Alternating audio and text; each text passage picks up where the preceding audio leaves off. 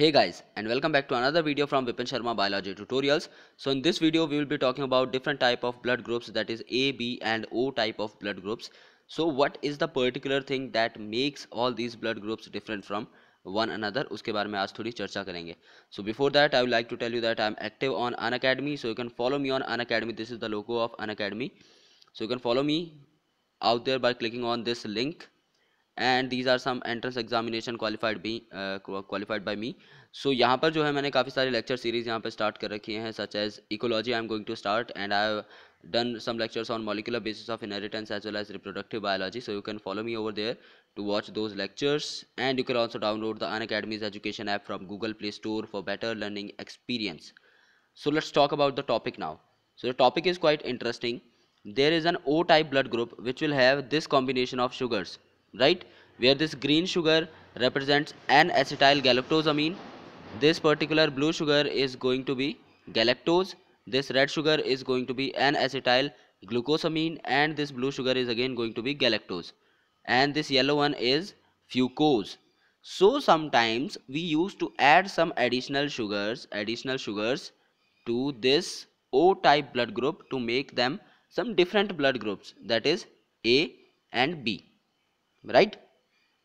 so in a blood group there is a antigen which have one more subunit than o type of blood group that is n acetyl galactosamine मतलब O type में अगर आप N acetyl galactosamine add करते हो then it will be converted into A blood group and if you will add a blue subunit that is galactose then the O type blood group will be getting converted into B type blood group okay so just एक sugar होती है at the terminus जो है इनको antigen में जो फ़र्क करवाती है। So the most basic one is the O O is the simplest one after that if you will utilising different kind of enzymes to add different sugars in that O blood group तो आपको मिल सकता है A if you will add a green subunit that is N acetyl galactosamine and if you will add this blue subunit that is galactose then it will become B antigen. Let's talk about the process in detail. That there is a sugar moiety. Okay, there are different kind of things which are adjusted over there and this is the O antigen. Right, this center one is the O antigen. ये O antigen की यहाँ पर बात हो रही है. So if you will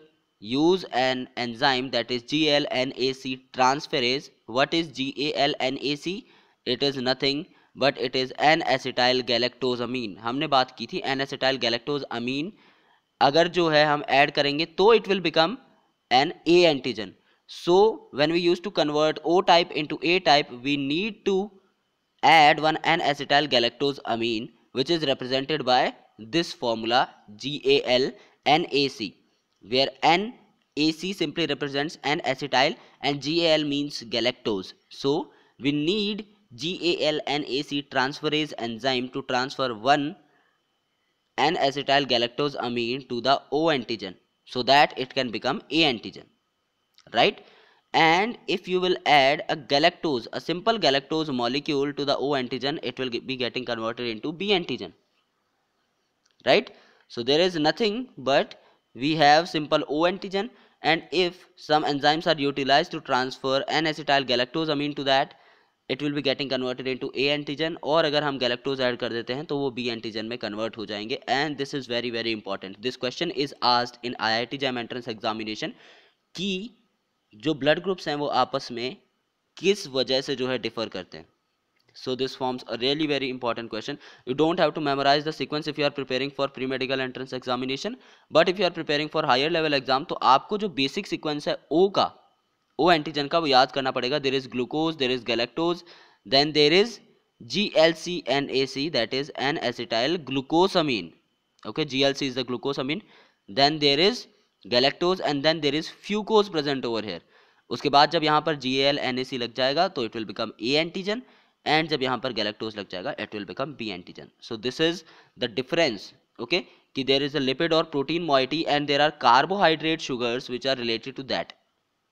okay and what is the association called when carbohydrate is associated with the lipid it is known as glycolipid and when carbohydrate is associated with the protein it is known as glycoprotein okay so that glycoprotein moiety is different in case of all the antigen right कि वहाँ पर जो carbohydrate sequence है, वो है differ करेगा जो right? So वहाँ पर आपको क्या करना है ओ के बाद अलग अलग एंजाइम्स को यूटिलाइज करके आप उसमें एडिशन कर सकते हैं कार्बोहाइड्रेट यूनिट का